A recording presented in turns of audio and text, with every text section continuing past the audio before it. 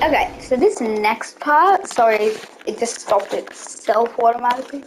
So, um, what I'm going to show you now is how I edit. So, um, if we go to, so let's say you want to pick a creative pack. So let's just use the, let's just use my old one. So then we just got to cut clip. Keep it cyberpunk. As you can see, So we got a fancy little thing here. Now you can pick whatever creative pack you want. Doesn't really depend what you're on, as long as you just pick a creative pack. You can also get some, but I can't do that. So let's say you want to add some. Let's say you want to add a screenshot. Let's say you want to add a screenshot. So let's say I want to add. Let's say I want to add a cloud. I can do that. See? Now let's say I want to add a transition to the cloud. Let's just say I want the balloons, for example.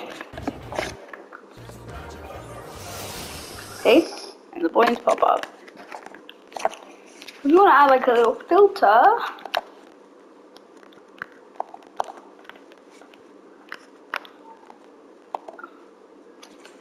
Oh god, I want to get rid of that.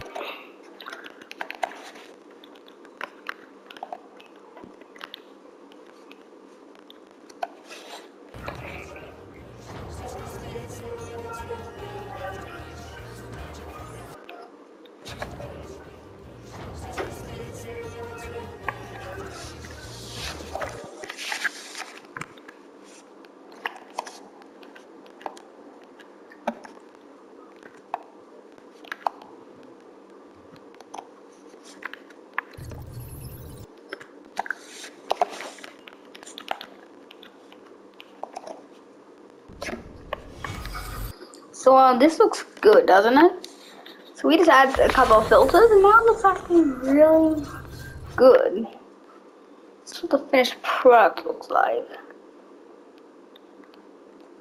The finished product looks like this.